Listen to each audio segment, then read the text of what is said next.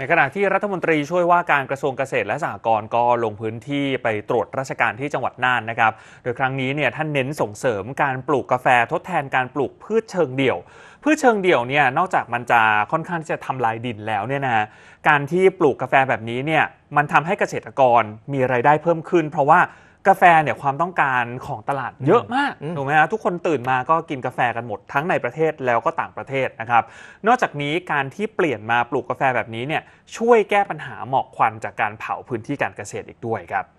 คุณอัธคุณอัธกรสิริรัตยากรนะครับรัฐมนตรีช่วยว่าการกระทรวงเกษตรและสหกรณ์ลงพื้นที่ไปที่จังหวัดน่านเพื่อรับฟังความเดือดร้อน จากตัวแทนกลุ่มเกษตรกร และผู้ประกอบการกาแฟในจังหวัดน่านครับรวมถึงไปศึกษาแนวทางการส่งเสริมการปลูกพืชทดแทนประเภทกาแฟ ในพื้นที่ 8 จังหวัดภาคเหนือ สร้างโอกาสในการเพิ่มรายได้ให้เกษตรกรให้ได้ 3 เท่าภายใน 4 ปี เนื่องจากกาแฟมีความต้องการการตลาดค่อนข้างสูงอยู่แล้วนะครับแล้วก็ยังเป็นการแก้ไขปัญหาหมอกควันจากการเผาพื้นที่ทางการเกษตรด้วย รวมถึงแนวทางในการนำนวัตกรรมเทคโนโลยีมาประยุกต์ใช้ในการผลิต เพื่อช่วยเกษตรกรลดต้นทุน เพิ่มประสิทธิภาพทางการเกษตร ตามนโยบายภาคการเกษตรที่ว่าตลาดนำนวัตกรรมเสริมเพิ่มรายได้นั่นเอง รัฐมนตรีช่วยบอกว่าได้มอบหมายหน่วยงานที่เกี่ยวข้องให้จัดทำคู่มือการปลูกกาแฟขึ้นมานะครับแล้วก็พัฒนาต่อยอดองค์ความรู้ ให้เกษตรกรรุ่นใหม่ๆ ที่เขาสนใจ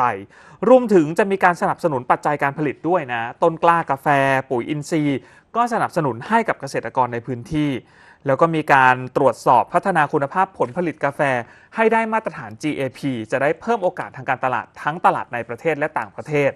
แล้วท่านก็ไปเร่งรัดกรมชลประทาน ให้สำรวจและวางแผนบริหารจัดการน้ำในพื้นที่ จะได้บรรเทาปัญหาการขาดแคลนน้ำภาคการเกษตรนะครับจากจุดตรงนี้รัฐมนตรีไปต่อที่ศูนย์ส่งเสริมและพัฒนาอาชีพเกษตรน่านนะครับ โดยเยี่ยมชมแปลงรวบรวมพันธุ์ไผ่ แล้วก็หารือส่งเสริมการปลูกพืชทดแทนเป็นไผ่สร้างหม่นเพิ่มเติม เพื่อแก้ปัญหาเขาหัวโล้น สร้างระบบนิเวศให้กลับคืนมา ลดการปลูกพืชเชิงเดี่ยว สร้างมูลค่าเพิ่มในการแปรรูป และมีตลาดรองรับผลผลิต เป็นการสร้างงานสร้างป่าสร้างไรายได้อย่างยั่งยืนให้แก่ประชาชนในพื้นที่ครับ